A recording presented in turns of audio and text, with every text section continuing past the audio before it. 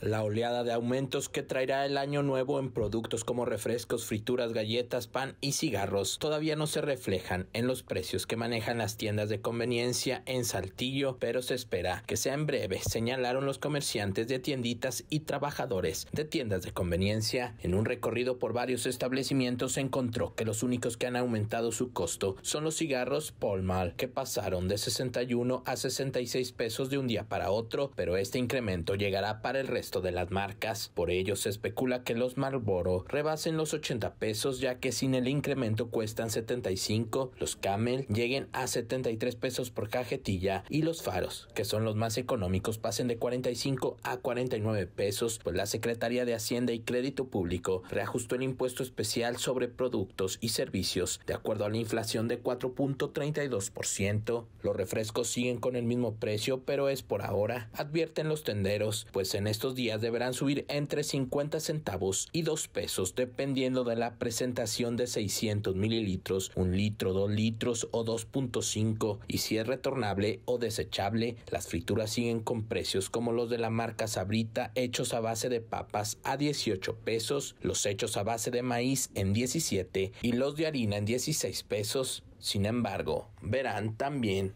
afectado su precio, así que en las tienditas y supermercados se vive una tensa calma, pues la oleada de aumento se acerca y en algunos casos está llegando ya. Con imágenes de Gerardo Ávila para Telezócalo, Carlos Rodríguez.